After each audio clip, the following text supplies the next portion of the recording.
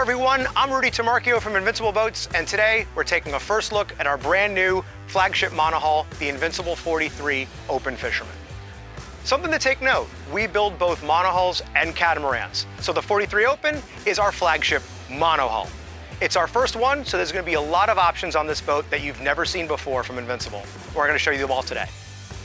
Let's talk seating and upholstery first. A serious fishing boat needs to have space, one for everybody on board, including your crew and passengers, and also place for storage. We did both of those things in one with this coffin box lounger.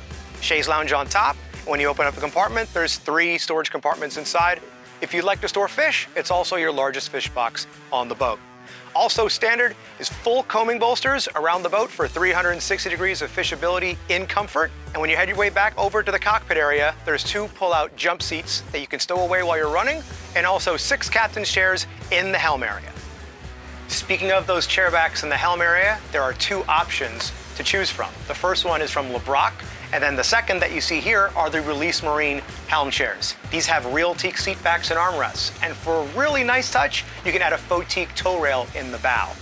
A new option available on the front row seats are these shocks shock absorbing pedestals for an even smoother ride in rough water. The captain has a comfortable position here at the helm station, both standing up and sitting down, depending on how you want to have your flip up bolster. There's also a cushioned gator step helm pad underneath your feet for a nice cushioned ride.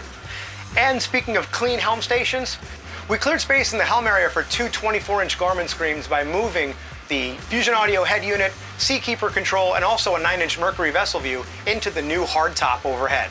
We also fit a 12-inch Garmin screen facing the cockpit for the anglers to look at the sonar. We've redesigned it that way because we listened to customer feedback where they wanted larger displays and simpler dashboards. A final touch at the helm station are these two air conditioning ducts. Been really good on keeping us cold on a nice hot day. It can be surprising just how well the air conditioning works in an open air environment, but if you really want to get out of the elements, step inside where it's fully climate controlled in the console.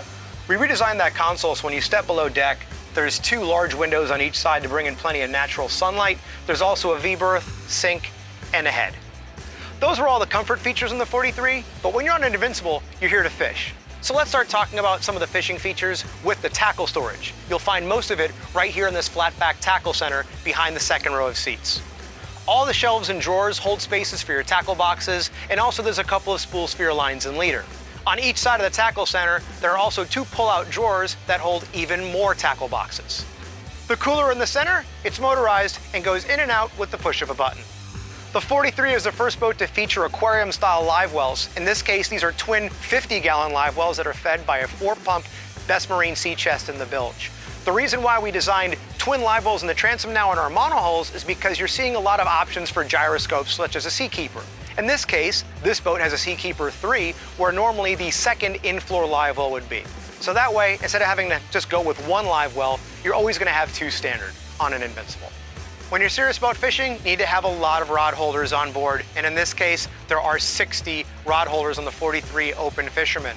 There's actually six rod holders inside the console for your shorter rods and for your electric reels. So whether you're going out for swordfish or if you're gonna go out kite fishing for sails, that's where they go while you're riding under power.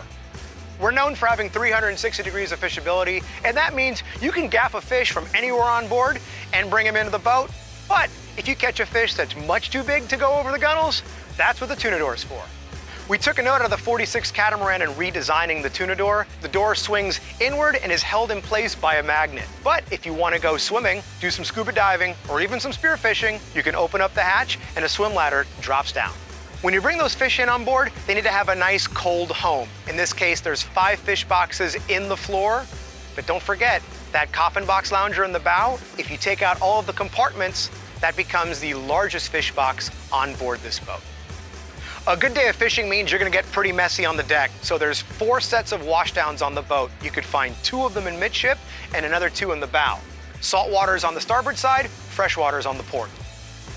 Our customers are known for making really long runs and sometimes that means leaving before sunrise. In that case, some great options to have for making those runs at night a rigid light bar and a FLIR night vision infrared system.